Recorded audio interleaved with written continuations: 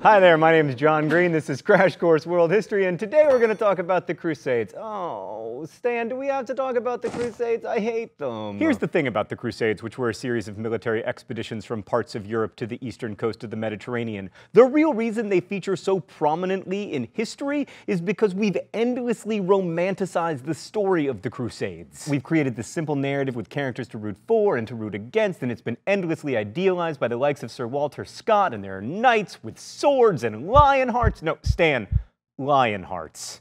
Thank you.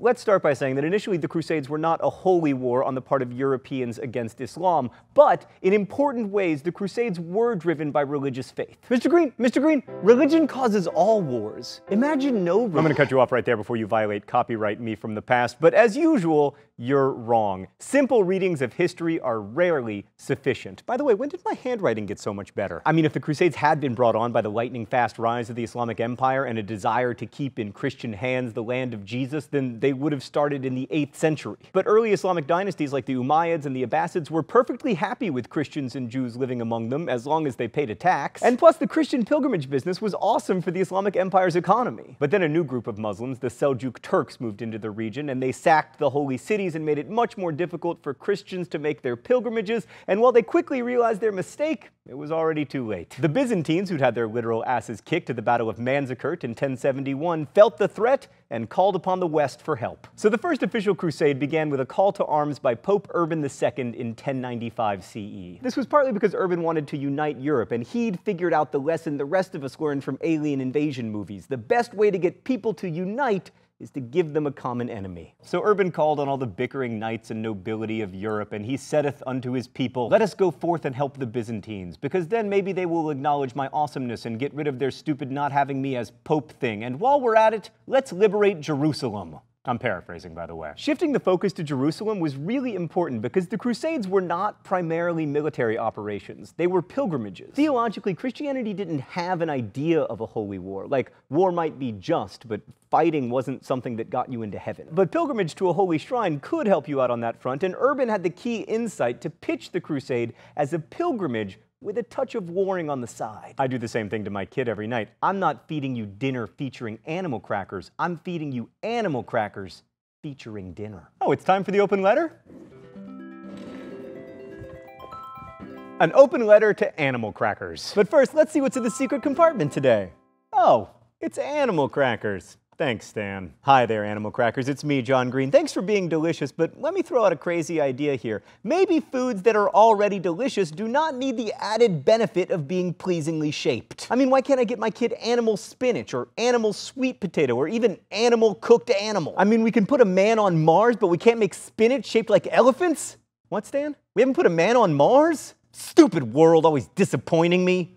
Best wishes. John Green. One last myth to dispel. The Crusades were not an example of early European colonization of the Middle East, even if they did create some Europeanish kingdoms there for a while. That's a much later post and anti-colonialist view that comes, at least in part, from a Marxist reading of history. In the case of the Crusades, it was argued the knights who went adventuring in the Levant were the second and third sons of wealthy nobles who, because of European inheritance rules, had little to look forward to by staying in Europe and lots to gain in terms of plunder by going to the east. Cool theory, bro, but it's not true. First, most of the people who responded to the call to crusade weren't knights at all, they were poor people. And secondly, most of the nobles who did go crusading were lords of estates, not their wastrel kids. But more importantly, that analysis ignores religious motivations. We've approached religions as historical phenomena, thinking about how, for instance, the capricious environment of Mesopotamia led to a capricious cadre of Mesopotamian gods. But just as the world shapes religion, religion also shapes the the world. And some modern historians might ignore religious motivations, but medieval crusaders sure as hell didn't. I mean, when people came up with that idiom, they clearly thought hell was for sure. To the crusaders, they were taking up arms to protect Christ and his kingdom. And what better way to show your devotion to God than putting a cross on your sleeve, spending five to six times your annual income to outfit yourself and all your horses,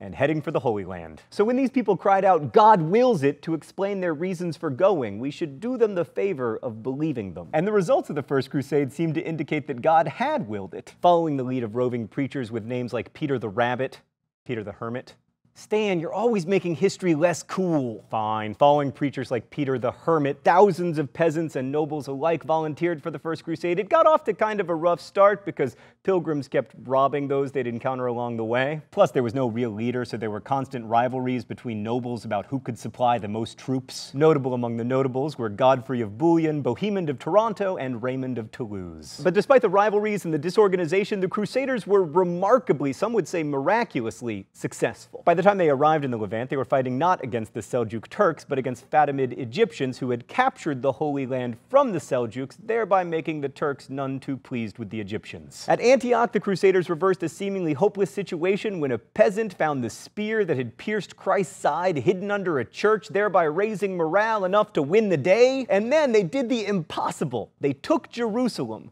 securing it for Christendom and famously killing a lot of people in the Al-Aqsa Mosque. Now, the Crusaders succeeded in part because the Turkish Muslims, who were Sunnis, did not step up to help the Egyptians, who were Shia. But that kind of complicated inter-Islamic rivalry gets in the way of the awesome narrative. The Christians just saw it as a miracle. So by 1100 CE, European nobles held both Antioch and Jerusalem as Latin Christian kingdoms. I say Latin to make the point that there were lots of Christians living in these cities before the Crusaders arrived. They just weren't Catholic, they were Orthodox a point that will become relevant shortly. We're going to skip the Second Crusade because it bores me and move on to the Third Crusade because it's the famous one. Broadly speaking, the Third Crusade was a European response to the emergence of a new Islamic power, neither Turkish nor Abbasid.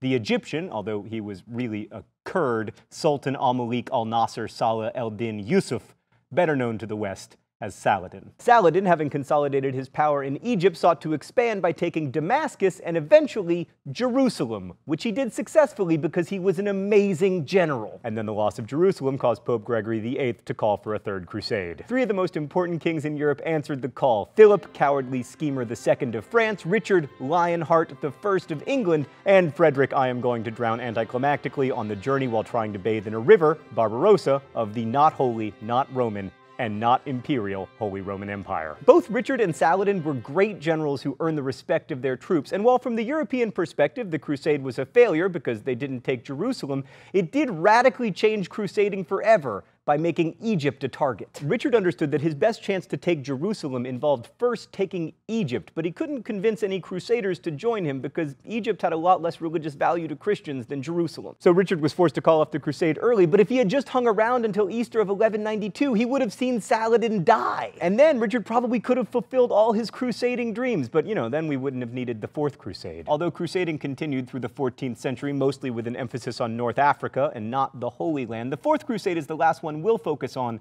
because it was the crazy one. Let's go to the thought bubble. So a lot of people volunteered for the Fourth Crusade, more than 35,000, and the generals didn't want to march them all the way across Anatolia because they knew from experience that it was A, dangerous, and B, hot. So they decided to go by boat which necessitated the building of the largest naval fleet Europe had seen since the Roman Empire. The Venetians built 500 ships, but then only 11,000 crusaders actually made it down to Venice because like, oh, I meant to go, but I had a thing come up, etc. There wasn't enough money to pay for those boats, so the Venetians made the Crusaders a deal. Help us capture the rebellious city of Zara, and we'll ferry you to Anatolia. This was a smidge problematic, crusading-wise, because Zara was a Christian city, but the Crusaders agreed to help, resulting in the Pope excommunicating both them and the Venetians. Then, after the Crusaders failed to take Zara and were still broke, a would-be Byzantine emperor named Alexius III promised the Crusaders that he would pay them if they helped him out, so the excommunicated Catholic Crusaders fought on behalf of the Orthodox Alexius, who soon became emperor in Constantinople. But it took Alexius a while to come up with the money he'd promised the Crusaders, so they were waiting around in Constantinople, and then Alexius was suddenly dethroned by the awesomely named Murtzophlus, leaving the Crusaders stuck in Constantinople with no money. Christian warriors couldn't very well sack the largest city in Christendom, could they?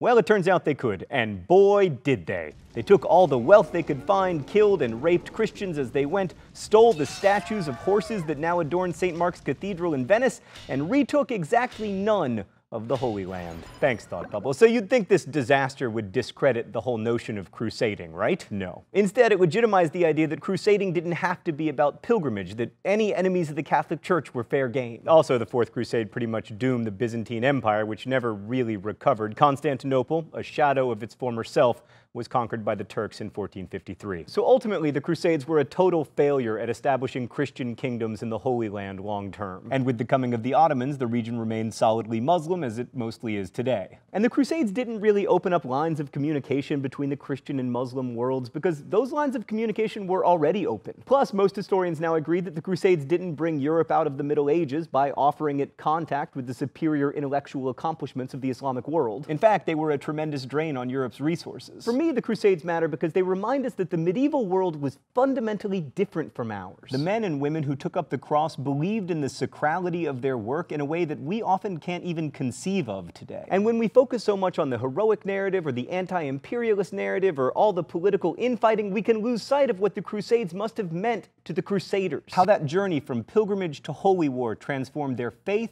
and their lives. And ultimately, that exercise in empathy is the coolest thing about studying history. Thanks for watching. We'll see you next week.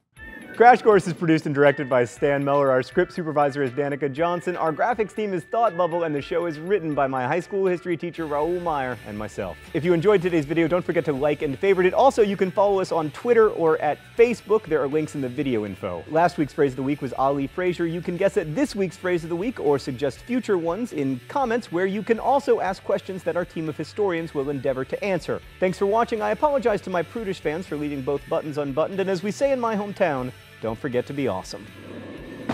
Whoa! Globe, globe, globe.